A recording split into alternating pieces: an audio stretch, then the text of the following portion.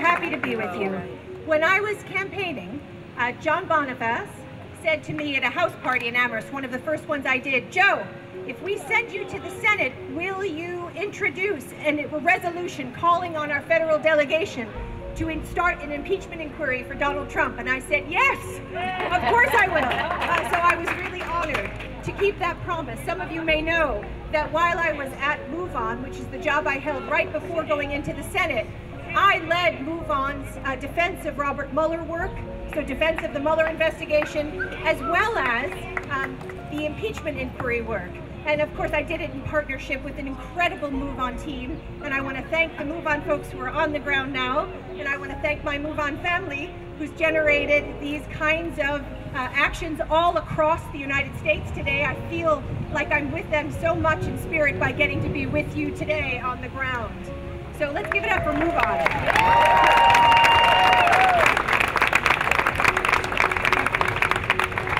have to say that now as a MoveOn member, uh, you know, now I'm not on the team, I'm a MoveOn member, I see the necessity of an organization like MoveOn and Indivisible and all of these powerhouse national organizations that are calling us into the street. Because as Jim McGovern just said, right, this is a time to push forward as hard as we possibly can. This is the moment, this is a precipice a moment of absolute change. And it's this kind of grassroots mobilization that you're called to today that is going to make the difference. Someone just said to me the other day when I was at a community event, ah, this impeachment thing, Jo, it's all political. And I said, no, no, no. It's not about politics. Asking Congressman Jerry Nadler of the Judiciary Committee to open up an impeachment investigation is a moral call to action to defend our democracy. or Democrat. It is the right thing to do because since his campaign, and I was proud to work on a United Against Hate campaign, trying to keep Donald Trump from occupying that White House. And since his campaign and every day since, he has flouted our democracy. He has ripped apart the human and civil rights infrastructure that we cherish and have built. He has put in peril people of color, uh, immigrant communities, LGBT, women, every sort of targeted and marginalized community is in peril because that man sits in the White House.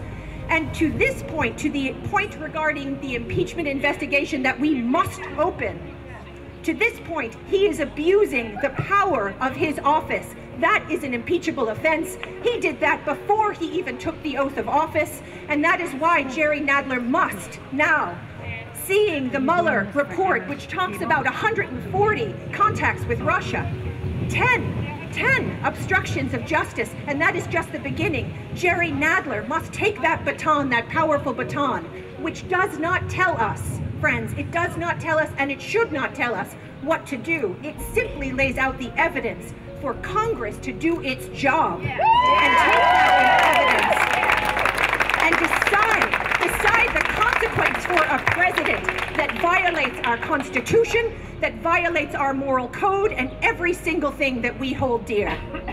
Read the report! Read the report. Um, so finally, let me just close and say I'm really proud to introduce the Senate resolution uh, that calls on our federal delegation at the Massachusetts level to open up and support an impeachment investigation. It would not. Well, I'm going to turn this around, John Bonifaz. This would not have happened if it were not for people like John Bonifaz, like Jennifer Taub, and Free Speech for People, and the people here in this community that have been demanding that we defend our democracy against all odds. So I'm very honored to do that. I'm, I'm honored to stay with Free Speech for People as we also try to get big money out of politics, which is part of this. And we try to limit the influence of these big PACs, these mega PACs, that are turning us away, turning those of us in government away from people like you, where we should be rooted and tethered, and toward the promise of a big check. It is what is ruining our democracy, and I'm glad to be doing that work on the state level. And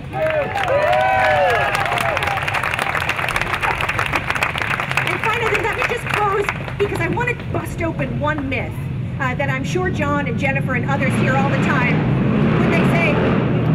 oh my God, Democrats, Democrats, You can't possibly want to impeach Donald Trump. It's the only thing you're going to be talking about. We have to get something done in Congress. Well, let me tell you one thing, and I worked at the national level for years and years before turning to the state level. That man will not get one decent thing done for this nation. Not one decent thing. So if we pretend that he is some rational person with whom we can negotiate, we are missing the opportunity to come to the aid of our democracy. So we cannot be. We cannot be. And we really, here it is, we cannot be afraid to do what is right at the national level by doing what's right, by asking Jerry Nadler to open up an impeachment inquiry, which is simply that, an inquiry as to whether or not Donald Trump has committed an impeachable offense.